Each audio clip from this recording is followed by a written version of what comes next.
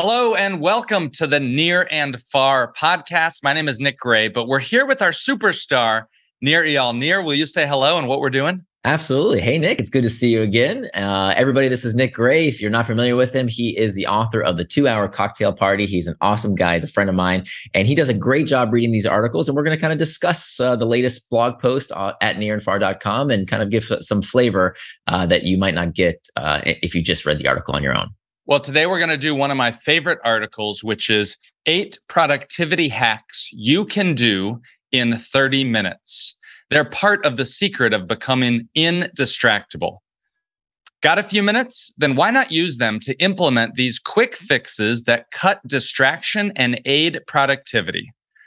I uncovered these productivity fixes while researching how to combat distraction and increase productivity for my book, Indistractable, and I've relied on them ever since.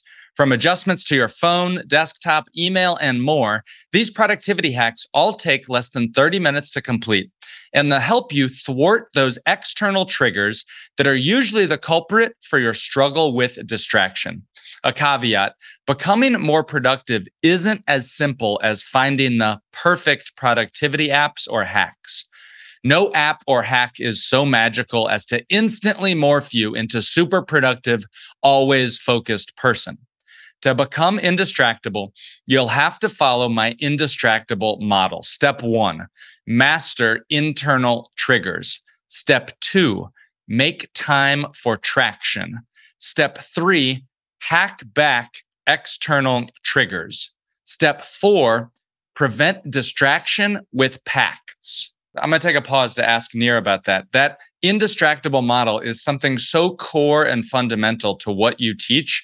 Could you speak about it or just riff on it for a minute? Absolutely. So this is really the the four part model that uh, I really would love to imprint on people's brains. So that worst case scenario, if you can't remember which specific app or which hack or which technique or whatever it is that you read about, if you remember one thing, remember this picture. Remember traction to the right.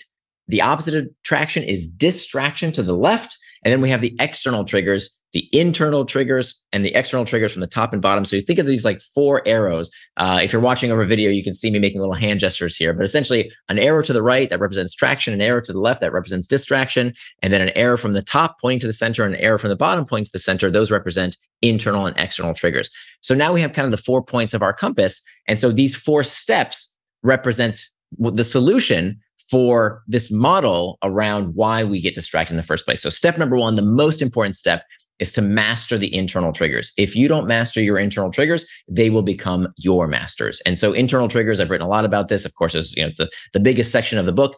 This is the source of 90% of our distractions. 90% of our distractions come from within loneliness, uncertainty, boredom, fatigue, stress, anxiety. This is the source of 90% of our distractions. So we have to learn techniques to master those internal triggers first and foremost.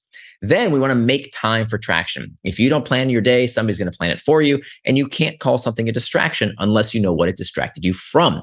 So you have to make time for the things that are important to you to help you live according to your values. You have to turn your values into time. That's what making time for traction is all about. Of course, I'm quickly summarizing here. There's a whole, you know, section in the book about this. Next is hack back the external triggers. So even though they account for about 10% of our distractions, the pings, the dings, the rings, anything in our outside environment, our coworkers, our kids, all these things can lead to distraction as well. These are called external triggers. There's a lot we can do around hacking back those external triggers. And then finally, preventing distraction with pacts.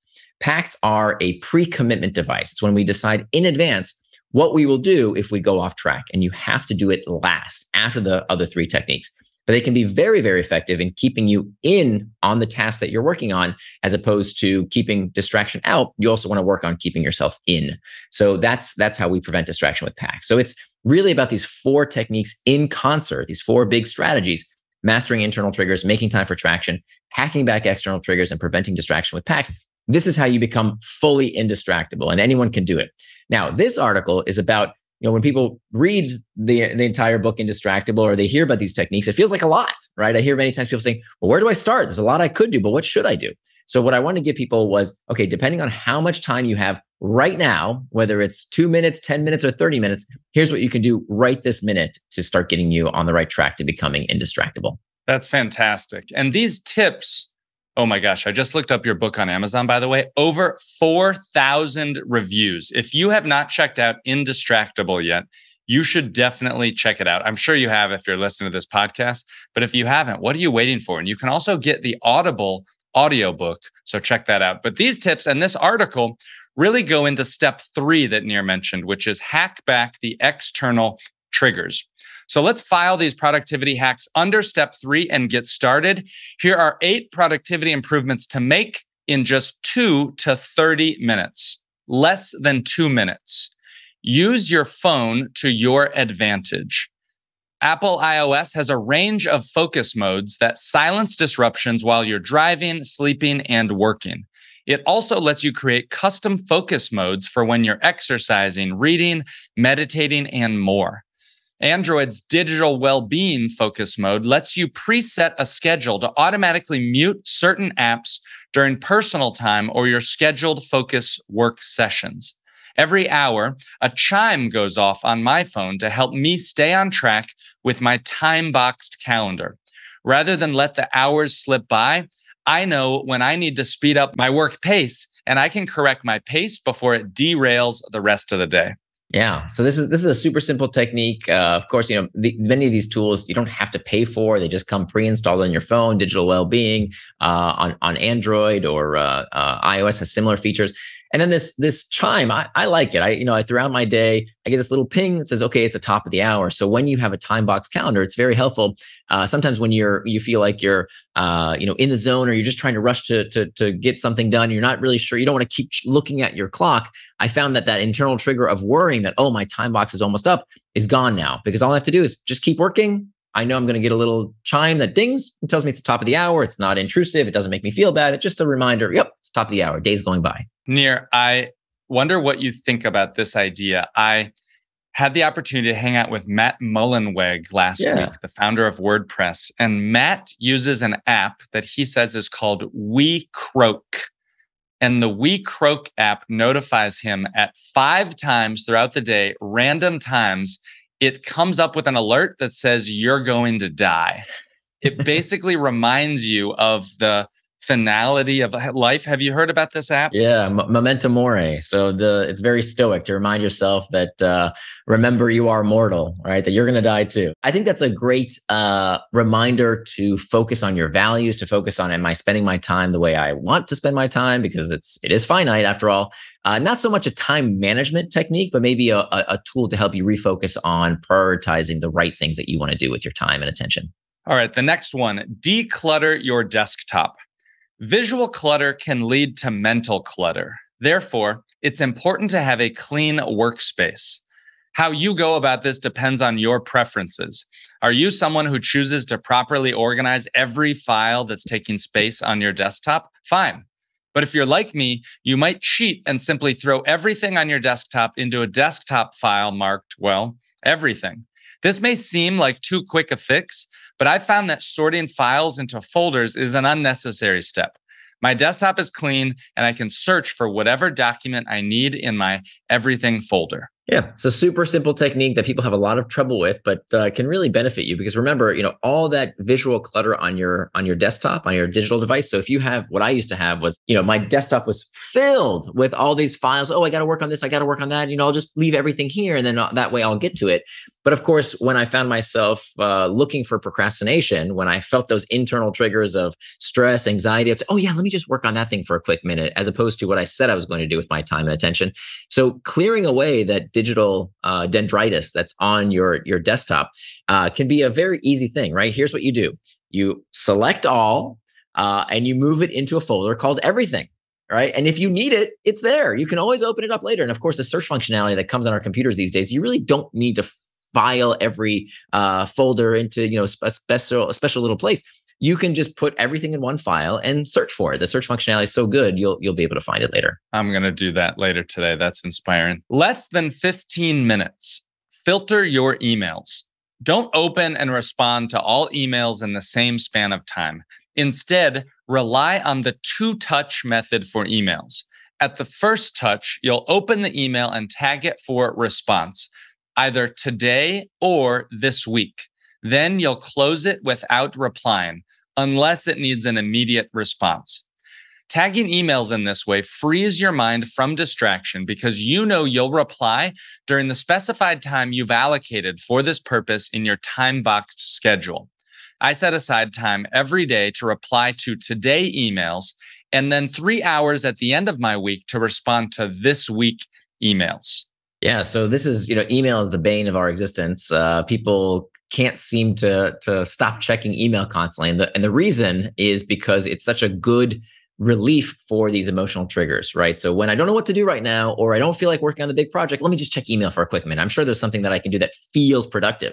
But remember, just because something feels productive, just because it might feel like it's a work related task doesn't mean it's not distraction. If you said you were going to write or work on that big project or uh, prepare that presentation and you're checking email, even if it's work related, it is a distraction. So instead, what you want to do is use these two techniques together of having a time box schedule where you say, This is my email work time. And if I check it at any other time, that's a distraction.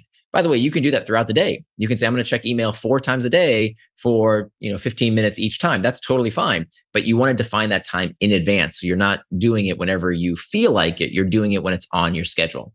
And then every time you're checking your email, you're not replying to whatever's at the top of your inbox. You want to reply to what's most important to receive a reply.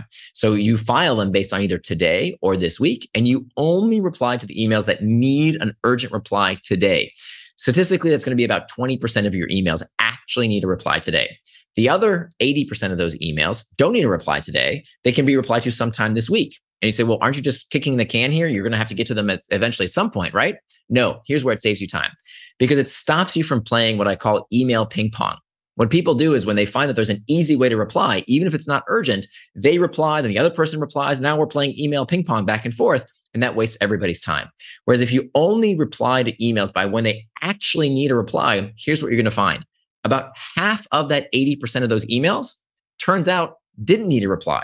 If you just let them simmer, if you just let other people figure out their own problems or the situation will take care of itself or get crushed under the weight of some other priority, you'll find many times it doesn't need a reply at all. So about half of the 80% of the emails turns out you don't need to reply to at all. And if you reply to them when you get them, you just wasted a bunch of time.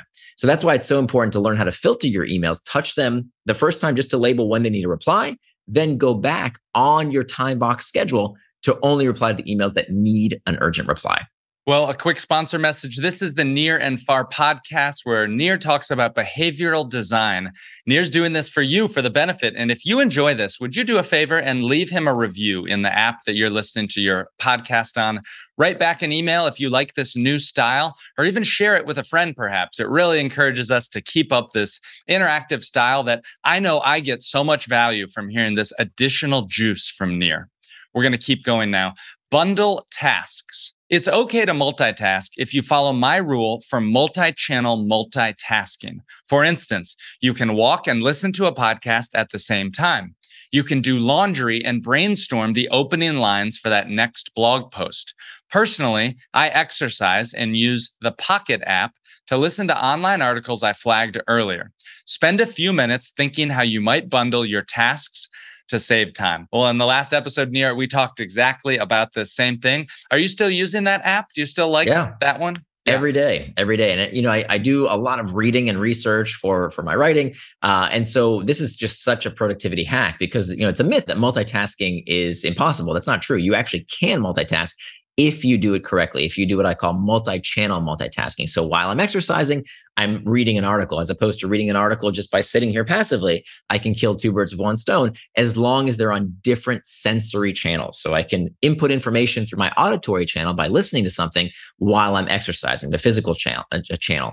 Uh, I can uh, catch up with a friend while I'm walking, you know, you could or, or driving or commuting. So using multi-channel multitasking properly is is a great way to uh, to kill several birds with one stone. That's fantastic. We'll go on to the next step. These are things that are less than 30 minutes. And this is a big one. Implement the four R's of hacking back your smartphone. The first three R's might take you 30 minutes combined, and the last one takes about 30 minutes on its own. The first R, remove. Kick to the curb all apps that no longer serve you or align with your values. Purging these will create more space on your phone and shrink the potential for distraction. The second R, replace. Rather than give in to the temptation to constantly check problematic apps like Twitter, YouTube, and Facebook, consider replacing them with a new system. Delete those apps from your phone and instead add time for social media or whatever qualifies as your problematic app to a time boxed calendar. That way you can indulge your social media craving at the allotted time without guilt. Well, I'm going to pause this here because I find myself, I admit every waking moment, even at the airport, if I'm I don't want to say, but I'm checking it all the time. That is powerful. Yeah. Yeah. And there's nothing wrong with that. Okay. There's nothing wrong with using these apps. So we don't we don't want to medicalize and vilify and moralize uh, these products. They're fantastic. I mean, uh, you know, I've met so many friends and contacts that I uh, now uh, consider consider close friends because of these wonderful apps and services. Some some of my closest friends I've never met in person. I've only met online. So there's nothing wrong or evil with these apps. There's nothing wrong about using them as long as you use them on your schedule and according to your values. So the way you can turn a distraction into traction is intent, right? It's forethought. So do you check social media just when you can't think of anything else better to do or when you're feeling lonely or stressed and you want to escape the current situation in your head or do you use it on a schedule, which is great? So by moving it from distraction, something you do to escape discomfort, to now traction, something that you plan to do. So if you say, okay, in my calendar, every day i get to check social media for however amount of time is is uh, aligned with your values. And i'm not going to tell you how much time. It's is it 15 minutes? Is it an hour? Is it three hours? I don't care. But put it in your calendar say okay yep uh, every night after dinner you know whatever that time is 7 p.m that's when i get to go on social media and relax and catch up with my friends. Wonderful. Totally nothing wrong with that. I love that. It removes the guilt and the shame from using them and says they are powerful. Right, exactly. As long as it, you're using them according to your values and your schedule. Well, the third R is rearrange. Create your essential home screen. Tony Stubblebine, uh, editor in chief of the popular Medium publication Better Human, and I think recently appointed CEO of yes, Medium. new CEO. That's right. Says to sort your apps into three categories primary tools, aspirations, and slot machines. Primary tools are those you rely on frequently, the ones that get you a ride or directions to a location. Limit this category to six apps. Aspirations are for healthy habit building apps for meditation, exercise, reading, and more. Slot machine apps are the problematic ones that drive you to distraction. And if you don't delete them, then you should remove them from your home screen. In fact, I recommend hiding them from your display screens altogether and instead using the search function on your phone to access them. Not having that app just one click away may give you the breath you need to refocus on your real task. The final R is reclaim. Turn off the visual and sound notifications for all apps, except for those that share urgent messages like the phone and texting apps. It's a one and done act that pays lifelong dividends. My hope is that implementing these tips will not only help to save you from distraction, but also give you the results and motivation you need to pursue becoming indistractable. By the way, the time box calendar I mentioned throughout this post is the most powerful productivity hack in my repertoire. Building it from scratch takes no longer than 30 minutes, and you'll get a great start by using my free schedule maker template. You can find that at nirandfar.com forward slash schedule dash maker. Once again, that's nirandfar.com forward slash schedule dash maker. Nir, is there anything to add to these four R's? Yeah, so you can actually make a time box calendar with any tool you like. I built a tool because folks asked for it. So I built something very, very simple that anyone can make in a Google Doc with just a few minutes. You know, so I, I set the stage for you to put in what's important to you to do in your day. Uh, but you can use Google Calendar, you can use whatever calendar system you want. The important thing is to decide in advance how you're going to spend your time. So everything we talked about today is about this third step, uh, this third strategy in, in the indistractable model around hacking back the external triggers. So what to do with your phone, what to do with your desktop interface. These are all these external triggers. But again, I want to reemphasize that the most important first step is the internal triggers, learning to deal with our emotions. And of course, we'll we'll talk about that in future articles. I've written about it before, and we'll definitely keep discussing it in the future. But uh, remembering these, that there's always something you can do, some small step you can take to move you towards becoming indistractable.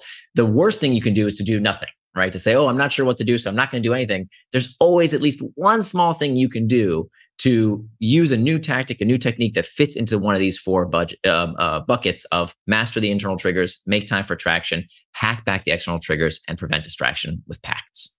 Well, this is another episode of Nir and Far Business, Behavior, and the Brain. If you like this podcast, will you please leave a review for Nir? It really means a lot. And he reads every single one of those. Leave a review, uh, how you like it on any app that you listen to your podcasts on. Also, if you have an article, a favorite one that Nir's written that you'd love to see us do, send Nir an email and we'll check it out. We're looking for greatest hits suggestions. Thank you so much for listening. And thank you, Nick. By the way, I want to give a quick plug. Everyone, please check out Nick's book. It's a fantastic book, The Two Hour Cocktail Party. It's wonderful. I've read it. I've come to Nick's cocktail parties. They're incredible. And if you want to get together with friends, but you're not really sure how, you think it might be too much work, this is your essential guide. So definitely check out Nick Gray's book, Two Hour Cocktail Party. Thanks, Nir. All right. Thanks, everybody. Have a productive week.